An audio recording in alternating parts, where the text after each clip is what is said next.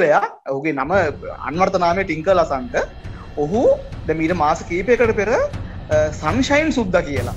ඒ තවත් පාතාල කලි සාමාජික කියල කියෙන පුද්ගලයකු මරාදමීම සම්බන්ධයෙන් සැකපිට අත්තටමුට ගත්තා. පිස්තෝලයක් සංකවත වුණ කියල කියන්නේ ඒ පිස්තෝලය අරගෙන ඔහු සමග ගිය පොලිස් නිධාරයෙන්ට වෙඩි තියන්න හැදවා. එතකොට පොලිස් නිධාරී විඩි තැබීමේ ඔහුව මරණයට පත්වා කියලයි කියන්න. ඔක තමයි පොලිසිය කියන කතාව.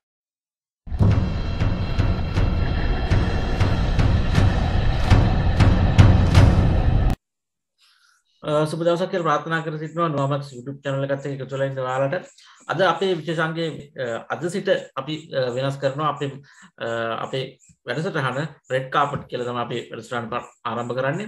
මෙතැන් සිට මේ වැඩසටහන උවට නරමන්න පුළුවන් නොවාමක් YouTube චැනල එක හරහා. එරම් අපි අදත් සුපුරුජ පරිත අපේ වැඩසටහන් සභාගී සිටින්නේ නිදීට ශ්‍රීනාත් කරන මහත්මය. අයිවන් සුදවසක් කියල ප්‍රාථනා කර සිටවා ශ්‍රීනාත් මහත්මය. ආයිබුවන් සුබ දවසක්. ඔව. ඉතින් අද අපි වෙනදා වගේ අපි දේශපාල මාතෘකවතම අදත් අපි කතා කරන්නේ. මේ වන විට ඔබ අප දකිනව ඇති රටේ ජනමාධ්‍ය තුළින් ඉරකරුවන් එකන්නේ පොලිසි භාරයට ගන්න යම්යම් පුද්ගලයන් විටකදී ආයුධ පෙන්වීමට සඳහන් කර ගෙනහින් ඔහුන්ව ඝාතනය කරන අවස්ථාපි දැකලා තියෙනවා ජනමාධ්‍ය තුළින් එම අවස්ථාව ඇත්තටම රටේ බලාගන්න ජනතාවට ඇතිවත්නේ කුතුහලයක්. මොකද මේක සැලසුම් දහගතව කරන ඝාතනද?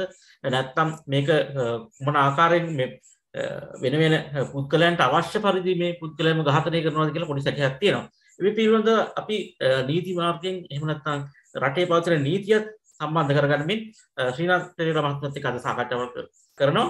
එහෙනම් ශ්‍රීනාත් මහත්මයා අද අපිට මේ පිළිබඳ පොඩි හැඳින්වීමක් කරොත් කොහොමද මේ ඝාතනවලට කොහොමද මොකද්ද මූලාරම්භය කොහොමද සිද්ධ වන්නේ කියලාත් ඔබතුමාගෙන් දැනගැනීමට කැමතියි. ඔව් මේ මේ කාරණේට ඉතිහාසයක් තියෙනවා. දැන් අපිනොට මේක අපි මේ අවසාන අවස්ථාවෙන් පටන් ගත්තොත් වඩා හොඳයි කියලා මට හිතෙන්නේ. දැන් මේ දැන් සතියක් යන්නත් කලින් මේ තිංකල් අසන්ත කියලා හැඳින්නුව සංවිධානාත්මක අපරාධ කල්ලි සමාජිකයෙක් කියන. ඒ කියන්නේ පාතාල සමාජිකයෙක් කියන පුද්ගලයෙකුව මේ අතර අත්තඩංගුට අරගෙන ඊට පස්සේ වෙඩි තියලා මරලා දාලා තිබුණා ඔබට මාධ්‍යවලින් දකින්න ඇති. ඇතර ඇතර මොකක්ද වුණේ දැන් මේ පුද්ගලයා ඔහුගේ නම අන්වර්තනාමය ටින්කල් අසන්ත ඔහු දැන් ඊට මාස කීපයකට පෙර සන්ෂයින් සුද්ද කියලා. ඒ තවත් පාතාල කල්ලි සමාජිකයෙකු කියලා කියන පුද්ගලයෙකු මරා දැමීම සම්බන්ධයෙන් සැකපිට අත්අඩංගුවට ගත්තා.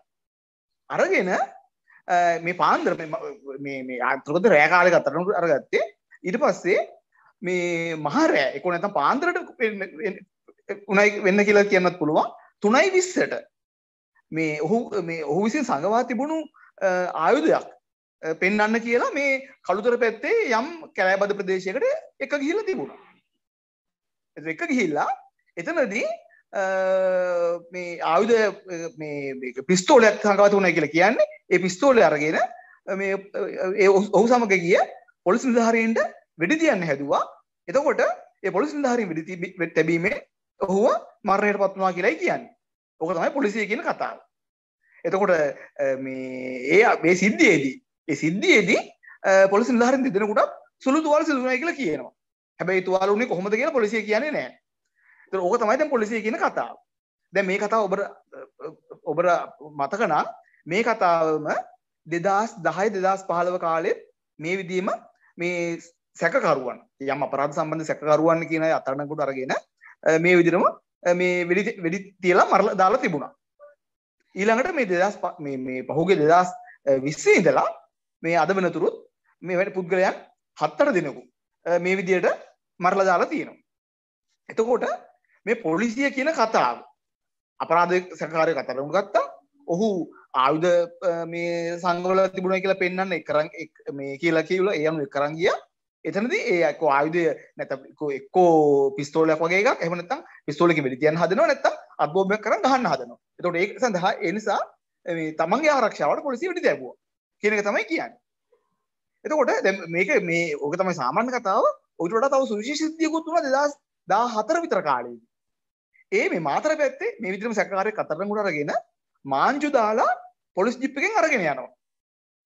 අරගෙන යනකොට ඒ සැකකාරයා නිල්වලා ගඟ උඩදී මේ මාංචු පිටින් ගඟට පැනලා මේ එකෙන් තමන්ගේ පොලිසියෙන් බේරෙන්න මාංචු පිටින් ගඟට පැන්න ගඟට පැනලා එතනදී මිය ගියා. බලන්න මේ කතා එක්තරා විහිළු කතා නේද? මේ විහිළු කතා. විහිළු කතා වුණාට බරපතල කතා. ඒකයි එතන වැදගත් කාරණය. එහෙම නැත්නම් ඇස් රතු වෙන විහිළු දැන් ටින්කල සන්තක සිද්ධියම අපි නැවත උදාහරණයක් ගමුකෝ. ඔහුව තනි පුද්ගලයෙක්. තනි තනි පුද්ගලයා හිටියේ. දැන් පොලිස් නිලධාරීන් අඩුම වශයෙන් හත් අට දෙනෙක් යනවා මේ වගේ අවස්ථාවක් ඊළඟ මේ පුද්ගලයා ගෙනියන්නේ කොහොමද? මාංචු දාලා ගෙනියන්නේ. ඕන නම් වඩාත් ආරක්ෂාවට කියලා අත් දෙක පිටිපස්සට තියලා මාංචු දාලා ගෙනියන්නත් පුළුවන්. කොහොම ගෙනිච්චද කියලා අපි කවුරුත් දන්නේ නැහැ. පොලිසිය කියන කතාව වැර මොකද වෙන කිසිම කෙනෙක් දකින්නේ නැහැ.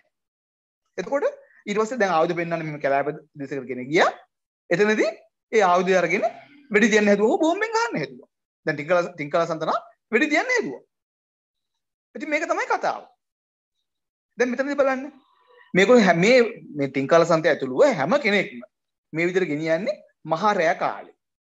කිසිම කෙනෙකුට දකින්නවත් දැනගන්නවත් විදියක් නැහැ. ඊළඟට මේ හැම කෙනෙක්ම ඒ කේල් පඳුරක් යට නැත්නම් උණ පඳුරක් ළඟ මේ ආයුධ තිබුණා. එතනදී ආයුධය අරගෙන මේ වෙඩි තියන්න හැදුවා. මේ එතකොට මේ මේ පොලිසිය ආරක්ෂ ආත්මාරක්ෂාවට වෙඩි තිබ්බා. එහෙම මරුණා කියලා තමයි කියන්නේ. එතකොට දැන් මේ මාංජු දාලා ගෙනියන සැකකාරයේ හතර දෙනෙක් කියන පොලිස් නිලධාරීන්ට වෙඩි තියන්න හදනවා. මේක මේ මේක කිසි කෙනෙක් විශ්වාස කරන්න පුළුවන් කතාවක්ද? ඊළඟට එතරම් තියෙන අනිත් කාරණේ තමයි දැන් මේ එතකොට දැන් මේ දෙංකල සඳ ගත්තාම ඔහුගේ මේ වෙඩි වැදුණු මලසිරුරත් අපි දැක්ක මාධ්‍යවල මේ සමාජ මාධ්‍යවල දැක්ක පපුවටම වෙඩි තියලා තියෙන්නේ. ආයෙ වෙන කොහෙටවත් මේ පපුවට වෙඩි තියලා මරලා දාලා තිබුණා. එතකොට දැන් මේ කතාවේ මේ මේ වඩාත්ම නාටකීය කතාව එන්නේ ඔය මේ ටින්කලසන් සිද්ධියට අමතරව නාටකීයම සිද්ධිය එන්නේ මාකඳුරේ මදුෂ් මරා දැමීම සම්බන්ධ කාරණේදී. මාකදුරේ මදුෂ් අත්අඩංගුවට අරගෙන මේ අපේ මේ මේ අපරාධ පරීක්ෂණ දෙපාර්තමේන්තු බාරේ මාස ගාණක් හිටියා. ඔහු සම්බන්ධ පරීක්ෂණ පවත්වමින් හිටියා. මාස ගාණක්. එක්තරා විදිහකට මේ ඔහු ආරක්ෂිතව හිටියේ කාලේ. එතකොට දැන් එක දවසක් ඔහු මද්‍රව්‍ය සම්බන්ධ අපරාධකාරයෙක් කියලා කියන්නේ. ඔහු මද්‍රව්‍ය සංගවාදීන මද්‍රව්‍ය පෙන්වන්නේ කියලා මේ කොළඹ නගරේ කොහේ ප්‍රදේශයක මේ මහල් නිවාසයකට අරගෙන යනවා මහරය. මේ විදිහට මහරය අරගෙන යනවා. එහෙම අරන් යනකොට මේක ආරංචි වෙලා තවත් පාතාල කල්ලි සමාජිකයෝ දෙන්නේ. එතනට ඇවිල්ලා මදුෂ්‍ය වෙඩි තියලා මරනවා. වෙඩි තියනවා වෙඩි තියලා මදුෂ්‍ය මරණයට පත් වෙනවා. එතකොට ඒ අනෙක් පාතාල කල්ලි සමාජිකයෝ දෙන්නාගේ වෙඩි තැබීමෙන් පොලිස් නිලධාරීන් දෙදෙනෙකුටත් තුවාල සිද්ධ වෙනවා. ඊළඟට ඒ අපරාධ ඒ අනේ ඒ මදුෂ්‍ය වෙඩිතිබ පාතාල සමාජිකයෝ දෙදෙනා මේ මෝටර් බයිසිකලකින් පලා යන්න උත්සාහ කරනවා. එතකොට ඒ පලා යන්න උත්සාහ කරනකදී මෝටර් බයිසිකලේ යම් මොකක් හරි ප්‍රශ්නයක් මතුවෙලා බයිසිකලේ දාලා පලා යනවා. මේ කොළඹ නගරේ. එතකොට මාධ්‍ය වලින් පෙන්නුවා මෙන්න මේ පාතාල සමාජිකයෝ දෙන්න මේ මේ දාලා ගිය බයිසිකලේ කියලා. මෝටර් බයිසිකලේ කියලා. එතකොට ඒක තියෙන එතකොට බලන්න කරාවික නාටකීය විදිහට මේක තියෙන්නේ. එතකොට එතන තව කාරණයක් තියෙනවා එතකොට. මදුෂ්‍යයට වෙඩි තිබ්බේ පොලිසිය නෙවෙයි. මදුෂ්‍ය වෙඩි තිබ්බේ වෙනත් පාතාල සමාජිකයෝ දෙන්නේ. එහෙනම් ඒක පැහැදිලිව මිනිමරුවක් නේ. ඒක පැහැදිලිව මිනිමරුවක්. දැන් ඔය ඔය පොලිසිය කිව්ව මුල් කතාව විතරයි. එන් හැර කිසි දෙයක් නෑ. එතකොට දැන් මදුෂ්‍ය වෙඩි තිබ්බ වෙනත් පාතාල සමාජිකයෝ දෙන්නෙක් නම් ඒක මිනිමරුවක්. ඒ පොලිසිය කරපු එක නෙවෙයිනේ. අර මේ තින්කල සන්තක සිද්ධියක් වගේදී ආත්ම ආරක්ෂාවට පොලිසිය කරපු දෙයක් නෙවෙයි. මේ ඒක නිසා එයාට වෙඩි තියලා මැරුවේ වෙන පාතාල සමාජික දෙන්නෙක් මිනි මරුවා. එහෙමනම් මේ මිනි මරුව ඔතනට ගන්න එපා අය. මොකද දැන් දැන් අර සන්ෂයින් දැන් මෙතන බලන්න සන්ෂයින් සුද්දට වෙඩි තියලා මැරුවේ ටින්කල් සන්ත. එතකොට සන්ෂයින් සුද්දත් අපරාධකාරයෙක් කියලා පොලිසිය කියන්නේ ටින්කල් සන්තත් අපරාධකාරයෙක්. එතකොට ටින්කල් සන්ත අත්අඩංගුවට ගත්තා. එහෙමනම් මදුෂ්‍ය වෙඩි තියලා මැරුවා. අපරාධකාරයෝ දෙන්න පාතාල සමාජිකයෝ දෙන්න අත්අඩංගුවට ගන්න ඕන නේද? දැන් ඒ කියන්නේ පරීක්ෂණ පවත්වනවාද? ඒක කිසිම දෙයක් නැහැ. මේ විදියට මේ පොලිසිය මේ කරන්නේ සම්පූර්ණ අනීතික ඝාතන. අනීතික ඝාතන. එතකොට මෙතන තියෙන වැදගත් කාරණේ තමයි මේ දැන් මේ මේ කාරණය මම තව එතන තව නෛතික පැත්තක් තියෙනවා. මම ඒකට පසුව එන්න මේ මේ දෙදස් දහය පස්සේ තමයි මේ මේ මේ මේ පොලිස් ඝාතන පටන් ගත්තේ. මොකද ලංකාවේ පාතාල අපරාධ. පාතාල අපරාධ මේ බහුලෝ සිද්ධ වෙන සිද්ධ වෙමින් තිබුණා පාතාල කියන. මේ වගේ අපරාධ කල්ලි. අපරාධ කල්ලි අතර තියෙන ගැටුම්. මොකද අපරාධ කල්ලි අපරාධ කරන්නේ නිකන් හුදෙක් මිනිමරන්න නෙමෙයි. ඒක සල්ලි හම්බ කරන්නේ. ඒතර සල්ලි හම්බ කරන තරගයක් තියෙනවා. මද්ද්‍රව්‍ය ජාවාරම් කරනවා වෙනත් මේකුත් මේ අපචාර වැඩ කරනවා. එහෙම කළා මේ ඇතර මුදල් ලුපෙන්නේ මේ කරන්නේ. ඒතර ඒගොල්ලෝ අතර තරගයක් තියෙනවා. ඒ තරගය තුලදී තමයි මේ මේ අපරාධ ඝාතන සිද්ධ වෙන්නේ. එතකොට මේ ඒකන ඇති මේ පාතාල අපරාධය තොර පාතාල අතර තරගයක් තියෙනවා සහ පාතාල පාතාල අපරාධකරුවන් විසින් පාතාල සමාජිකයන් විසින් වෙනත් සමාජයේ යහ සාමාන්‍ය යහපත් විදිහට ජීවත් වෙන අයට තමයි ඒ අපරාධ වැඩිපුර කරලා තිබුණේ. ඒක නිසා පාතාලය මර්ධනය කරන්න අවශ්‍යයි. ඒක ගැන කතා දෙකක් නෑ. හැබැයි එතකොට එහෙමනම් කරන්න ඕනේ මොකද්ද? මේ පාතාල සමාජිකයන් අත්අඩංගුවට අරගෙන ඔවුන් ළඟ තියෙන ආයුධ හොයාගෙන ඔවුන්ට විරුද්ධව නීතිය ක්‍රියාත්මක කරලා ඔවුන්ට නීතියෙන් දඩුවම් දෙන එක. හැබැයි වෙන්නේ මොකද උනේ මොකද්ද? 2010න් පස්සේ මේ පාතාල සමාජිකයෝ කියන අයව මේ මත්තඩංගුට අරගෙන ආයුධ පෙන්වන්න යන එකේ ගියයි කියලා එතනදී මෙහෙම ඊට පස්සේ තමයි පොලිසියට වෙඩි තියන්න හැදුවා කියලා වෙඩි තියලා මරණ එක තමයි සිද්ධ වෙලා තියෙන්නේ. ආත්ම ආරක්ෂාවට වෙඩි තමයි කියන්නේ. හැබැයි ඒක මම ඉස්සෙල්ලා කිව්වා වගේ කිසි කෙනෙක් දකින්නේ නැති කිසි කෙනෙක් දැකලා නැති කිසි කෙනෙකුට දැක ගන්න අවස්ථාවක් නැති රාත්‍රී කාලයක හුදකලාව තමයි මේ සිද්ධ වෙන්නේ. ඒක නිසා පැහැදිලිවම මේ ක්‍රියාදාමය පොලිස් අපරාධ හැටියට තමයි අපට සලකන්න සිද්ධ වෙන්නේ. ඒතර පොලිස් අපරාධ වෙනකත් වචනේ තද මදි. පොලිස් මිනිමරුම් කියලා තමයි අපට සලකන්න සිද්ධ වෙන්නේ. ඔව් නිතිතුමනි ඔබ කියනවා මේක නීති ක්‍රියාත්මක වෙන්නේ නැහැ කියලා. අපි මෑතකදී දැක්ක මේ සති කිහිපයකට පෙර එක්තරා පුද්ගලෙක් එක්තරා පොලිස් ස්ථානයක තුල ගෙල වැළලාගෙන මිය යනවා.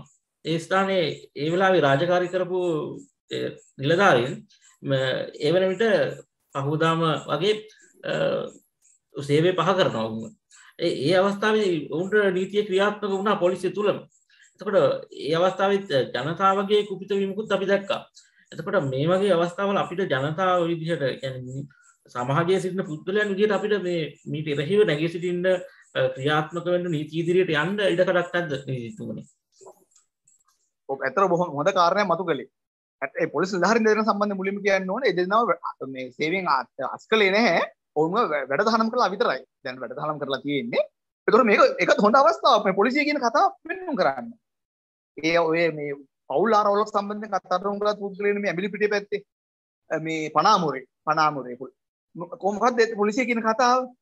ඔහු තමන් ඇදගෙන හිටිය කමිසයෙන් ජනේලයේ කූරුවල ගැට ගහලා ගෙල වැළලා ගන්න හැදුවයි කියලා කියන්නේ. බලන්න මොන විහිළුවක්ද කියලා. දැන් සාමාන්‍යයෙන් මේ කෙනෙක් එන්නලා මැරෙන්නේ කොහොමද? උඩ මේ වහලක හරි ගහක හරි මේ මේ මොකක් ලණුවක් හරි රෙද්දක් හරි ගැටයක් ගහලා නේ එල්ලෙල මැරෙන්නේ. මොකද එතකොට තමයි අර ගැටේ තද වෙලා පුද්ගලයා මියන්නේ. දැන් මෙතනදී මේ තිරස් අතර තියෙන ජනෙල් කූරු වල ෂර්ට් එක ගැට ගහලා මේ ගෙල වැළලා ගන්න හැදුවයි කියලා කියන්නේ. මන්න මට නම් තේරෙන්නේ කොහොමද එහෙම කෙනෙක් මැරෙන්නේ කියලා. ඒත් එහෙමනම් වෙන්න පුළුවන් දේ තමයි ඒ ජනල් කූරේ කම්සිය ගැට ගහලා ඊට පස්සේ ඔහු හැකිතා මේ මේ ඒ බෙල්ල බෙල්ල කම්සිය යොතාගෙන හැකිතා ඉවත බෑදෙන්න ඕන. බෙල්ල හිර වෙන තරමට. එහෙම වෙන්නේ නැහැ. එහෙම වෙන්නේ නැහැ කියන්නේ කෙනෙකුට අර උඩින් එල්ලුවම නම් තමන් කැමතිුණොත් නැති වුණත් අන්තිම වශයෙන් බෙල්ල හිර වෙනවා මේක පහළට ඇදෙනකොට. දැන් මේක එහෙම නෙවෙයිනේ. මේ තමන් උත්සාහ කරලා පැත්තකට අදින්න ඕන. එහෙම ඇදෙන්නේ නැහැ. එතකොට බෙල්ල හිරනකොට මිනිස්සු මිනිස්සෙක් අනිවාර්යයෙන් මේ ඒක එතනින් නවතිනවා. දැන් මේ කතාවක් ඒක තොට කියන්නේ මේ සැකපිට අතර අතර නුගා පුද්ගලයා මිය ගියා. පැය කීපයක් ඇතුළත මිය ගියා. මේ විදියට. මේ එතකොට මේ තව ඒ එක අවස්ථාවක්. ඔයිට කලින් මේ පොලිසිය කියන කතා. ඔයිට මේ පානදුර ප්‍රදේශයේ පානදුර ප්‍රදේශයේ මේ ඒත් මේ මද්ද්‍රව්‍ය ළඟ තිබුණ කුංචි මද්‍රව්‍ය ප්‍රමාණය ළඟ තිබුණා කියලා තමයි පොලිසිය කිව්ව කතාව. මේ පුද්ගලයෙක්ව අත්අඩංගු ගත්තා මේ රෑ 7ට 8ට විතර. 4 විතර අත්අඩංගු අරගෙන පොලිසියට ගෙනියද්දී ඔහු පොලිසිය කිව්ව කතාව තමයි පොලිසිය යන ජිප් එකෙන් බැලලා මේ වැටලා මැරුණා. ඒකයි කිව්ව කතාව. ඒ දැන් පැහැදිලිවම මේ තොරතුරු එළිදරව් වෙලා තියෙනවා මේ පුද්ගලයාට පොලිසිය ගහලා මොකද එතන සාක්ෂි තියෙනවා මේ අත්තටම ගත්තලා ඉඳලා පොලිසිය කියවුවා කියන කාරණේ. පොලිසිය පහර දුන්නේ කියන කාරණේ. ඒ එහෙම පහර දීලා අන්තිමට ඒ පුද්ගලයාට සිහි නැති වෙලා අපි අපි දන්නේ නැහැ තාම හරියට මොකද උනේ කියලා. පොලිසිය මගදී යන පාරේදී ජිප් එකෙන් තල්ලු කරලා තමයි සිද්ධ වෙලා තියෙන්නේ. නැත්තම් ඒ පුද්ගලයාට එහෙම මේ පනින්න මොකද තමන්ගේ තමන්ගේ දරුවන් තමන්ගේ විවාහ පුද්ගලකේ පුද්ගලයා තමන්ගේ බිරිඳ දරුවන් දරුවන් අතහැරලා. එහෙම මැරෙන්නේ පුද්ගලට කිසිම අවස්ථාවක් අවස්ථාවක් තිබෙන්නේ නැහැ ඒ අවස්ථාව අවස්ථානුගත කරුණු යටතේ. ඒකයි මේ කියන්නේ. අවස්ථානුගත කරුණු යටතේ. එතකොට මේ පොලිසියෙන් කරපු ඝාතනයක්. ඔයිට කලින් තව මඩ කලපුවේදී අවුරුදු 22ක තරුණයෙක් ඒ මේ මද්‍රස් ප්‍රමාණය ළඟ තිබුණයි කියලා තමයි පොලිසිය කියන කතාව. අතරණු ගත්තා ගන්න වෙලා ඉඳන් පහර දුන්නා. ගන්න වෙලා ඉඳලා පහර දුන්නා. ඒ හවස් වරුවේ මේ හවස 6ට විතර පහුදා උදේ වෙනකොට ඔහු මැරිලා. ඔහු මිය ගිහිල්ලා. මේ විදියට මේ පොලිසිය කරන මේ අපරාධ මොකද පොලිසිය කියන කතාව විතරයි අපිට තියෙන්නේ. මේවා පිළිබඳ ඇත්තට අපේ රටේ තියෙන අවාසනාවන්ත තත්ත්වය කියන්නේ මේ වයි අතර හරියාකාර වෛද්‍ය පරීක්ෂණයක්වත් මේ අධිකරණ වෛද්‍ය පරීක්ෂණයක්වත් වෙන්නේ නැතික ඔය පේන්න තියෙන්නේ. මේ මොකද පොලිසිය කියන කතාවට උන තමයි වෛද්‍ය පරීක්ෂණ සිද්ධ වෙන්නේ. සිද්ධ වෙලා තියෙන්නේ දැනට මේ කාරණාවලදී. එතකොට මේ තියෙන තත්ත්වය තුළ පොලිස් අපරාධ පොලිස් මිනිමරු එකම රටාවකට ඒකයි කාරණය. එකම රටාවකට දිගින් දිගටම සිද්ධ වෙනවා. දිගින් දිගටම සිද්ධ වෙනවා. ඒක මේ කාරණය මොකද්ද? නීතිය ක්‍රියාත්මක වෙන්නේ මේ කැලෑව නීතිය ක්‍රියාත්මක වෙන්නේ. පොලිසිය නීතිය දැන් අපි කියන මහජනයාට නීතිය අතර ගන්න බැහැයි කියලා. පොලිසිය නීතිය අතර ගන්න පුළුවන්ද? පොලිසිය නීතිය අතර ගන්නත් බෑ එතකොට මේ විදිහට මේ පොලිසිය කරන අපරාධ එක්තරා විදිහකට නීතිගත වෙන කරලා සමාජගත කරන තත්ත්වයක් තියෙන්නේ. අපි ඒට විරුද්ධව තමයි මේ කාරණා මතු කරන්නේ මේ විදිහට. ඔව් මේ ඔබතුමා සිද්ධි ගණනාවක් තමයි කිව්වේ දැන් මට අවශ්‍ය කාරණා ඔබතුමාගෙන් කියවුනේ නෑ මොකද මේ වෙනුවෙන් අපි කළ යුත්තේ කුමක්ද කියන දේ ඔබතුමාගේ මම දැන ගැනීමට කැමති නැවතවර. ඒක ඉතාම වැදගත් කාරණා. ඒක තමයි වැදගත්ම කාරණා. දැන් දැන් මෙතනදී මෙතනදී කාරණා දෙකක් තියෙනවා මට මතු කරන්න. එකක් ජනතාව හැටියට සහ අපි වෘත්තික හැටියට අපට වගකීමක් තියෙනවා. දැන් මේ මෙතනදී මේ මේ මේ අවස්ථා තුනක් තියෙනවා ඔබට සඳහන් කළ සඳහන් කළ යුතු.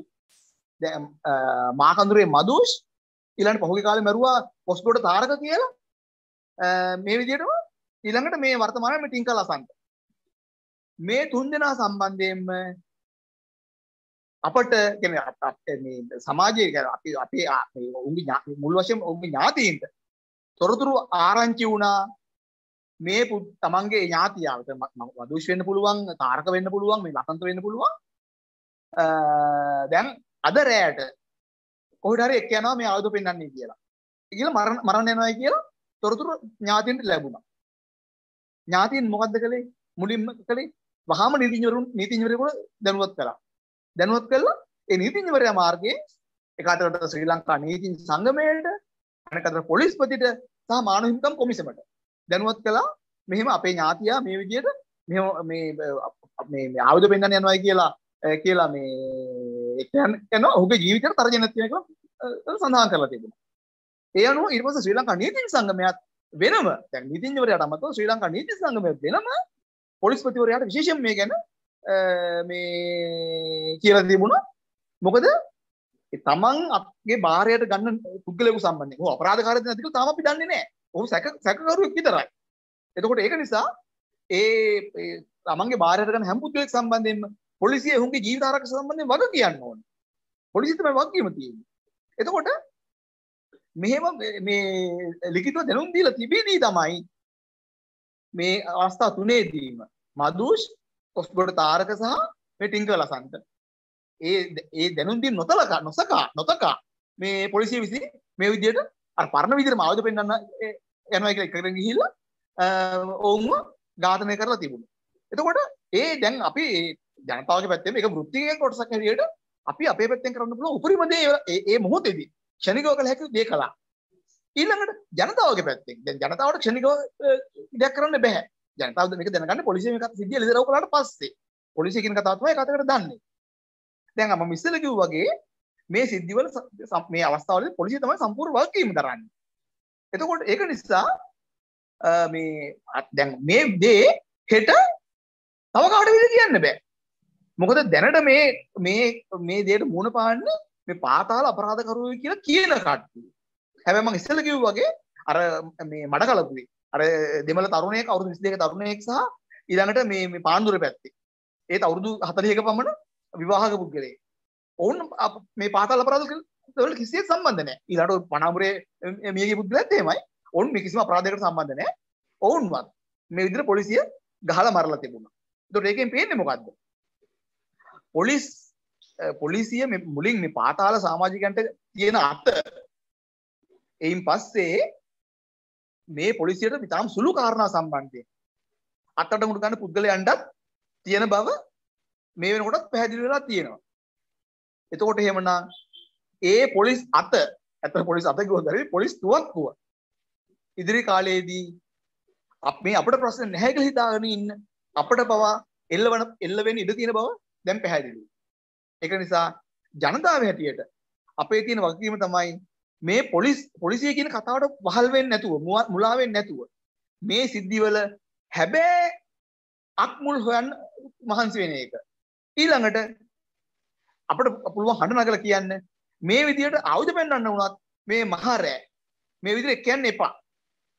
එහෙම නැත්තම් එහෙම යනවනම් පොලිසියෙන් බාහිර තවත් පාර්ශවයක් එක්ක යන්නේ. අඩු වශයෙන් මේ මේ ප්‍රදේශයේ මහේස්ත්‍රාත්වරයට දැනුවත් කරන්න පුළුවන්. මොකද මහේස්ත්‍රාත්වරයට තමයි සම්බන්ධ ප්‍රධාන මේ බලයක් තිබෙන්නේ. ඊළඟට ග්‍රාම සේවකට කියන්න පුළුවන්. මොකද ග්‍රාම සේවකටත් එක්තරා විදිහක තමන්ගේ ප්‍රදේශයේ සිදුවන දේවල් සම්බන්ධව වගකීමක් තියෙනවා. ග්‍රාම නිලධාරීවරයා. එවැනි ආකාරයකට යම් යාන්ත්‍රණයක් මේ සම්බන්ධයෙන් හැදෙන්න ඕන මේ මේ අත්අඩංගුවට ගන්නා සැකකරුවන් සම්බන්ධයෙන්. එතකොට ඒක නිසා මේ මේ අපි ජනතාව වශයෙන් අපේ වගකීමක් තියෙනවා පොදුවේ අපේ නිදහස රැක ගැනීම වෙනුවෙන් හැකිතාක් දුරට පොලිසිය නීතියේ රාමුදුර ක්‍රියාත්මක කරවා ගන්න. පොලිසිය කියන නීතිය ක්‍රියාත්මක කරන ආයතනයක්. නීතිය ක්‍රියාත්මක කරනවා මිස නීතිය අතර ගන්න ආයතනයක් නෙවෙයි. ඒකට ඒක නිසා අපේ වගකීම තමයි පොලිසිය නීතියේ රාමුදුරට කොටු කර ගැනීම පළමුවම. නීතියේ රාමුදුර ක්‍රියා කරන්නේ. එතකොට අපි වශයෙන් ජනතාව වශයෙන් හඬ යුතු කාරණේ තමයි මේ පොලිස් පොලිසිය කරන මේ අපරාධ වලට මේ එරෙහිව නැගී සිටිමින් ඇත්තට ඒ අපරාධ වලට අපරාධ කරුවන්ට දඬුවම් කරන ලෙස බල කරමින් බල කරමින් ඒ වගේම වැදගත්ම විදිහ තමයි මේ පොලිස් තුවක්කුව මේන් ඉදිරියට වෙනත් පුද්ගලයන්ට සැකකරුවෙක් වෙන්න පුළුවන් අපරාධකාරයෙක් කොට නීති ඉදිරියේ ඔප්පු වෙලා නැති තත්ත්වයක් තුළ සැකකරුවෙක් විතරයි එතකොට නීතියේ තියෙනවා මේ මේ එක්තරා විදිහකට පේනවා අපරාධ නීතියේ රන් හුය කියලා වාක්‍යයක් තියෙනවා. රන් හුය ස්වර්ණමය නූල golden thread මොකද්ද?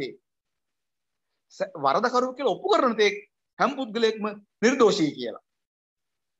වරදකරුවෙක් කියලා නීතියත් නීතිය ඉදිරියේ ඔප්පු කරන තේ හැම පුද්ගලයෙක්ම නිර්දෝෂී. ඒක නිසා සැකකරුවෙක් කියලා පොලිසිය අත්අඩංගු ගන්න පුද්ගලයෙක්ව මේ වරදකරුවෙක් නෙවෙයි මොකද පොලිසියට බෑ වරදකරුවෙක් කියලා නිගමනය කරන්න. ඒක නඩු විභාග කරලා අධිකරණයක් විසින් කළ යුතු දෙයක්. ඒක නිසා අපේ වගකීම තමයි ජනතාව හැටියට පොලිසියට බල කරලා කියන්න පොලිසියට සහ රාජ්‍යයට බල කරලා කියන්න. නීතිය රාමුව තුළ ක්‍රියාත්මක වෙන්න නීතිය පිටින් වැඩ කරන්න එපා. නීතිය රාමුව තුළ දිහක උපරිම දඩුවම් දෙන්න අපේකට විරුද්ධත්වයක් නැහැ හැබැයි නීතිය පිටින් ගිහිල්ලා මිනිස් ජීවිත නැති කරනවා කියලා කියන්නේ අපරාධයක්. මේක මිනිමරුමක් කියන කාරණා ඔව් නිතින්තුමනි ඒ කාරණේ තමයි ඔබතුමන්ගේ අදහස් දැක්වේ මේ කරුණු සම්බන්ධයෙන්. අපි එහෙනම් නැවතත් විශේෂ කරුණක් සම්බන්ධයෙන් නැවතත් සමුවේ මේ බලාපොරොත්තු වෙන අද සමුගෙනනවා ඔබට සුබ දවසක්. අප සමග රැඳී සිටි සියලු දෙනාටම සුබ දවසක්. රෙඩ් කාපට් අලුත්ම විශේෂංගයත් සමග සියලු දෙනාටම එනම් සුබ දවසක් නැවත හමුවෙමු කියලා ප්‍රාර්ථනා කරමින් අපි අද අදසානයේ බොහොම ස්තුතියි මේ සාකච්ඡා සංවිධානය කිරීම ගැන බොහොම ස්තුතියි ඔබට